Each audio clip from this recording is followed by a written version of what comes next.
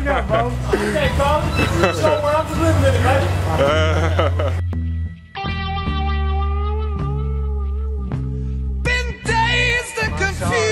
Led Zeppelin, they started their 1972 tour in Atlanta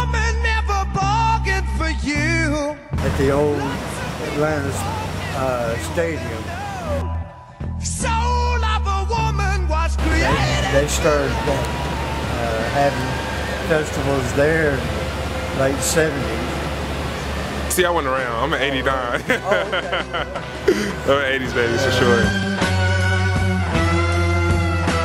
Like I said, that's why I saw the Grateful Dead at the old Atlanta Sports Arena. You telling all of your lies.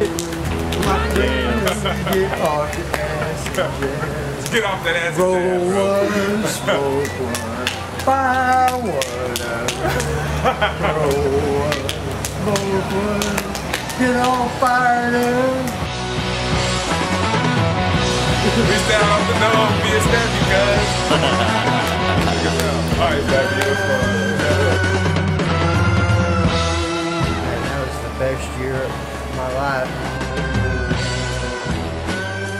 Because of my memory. Right, That's all it is. yeah.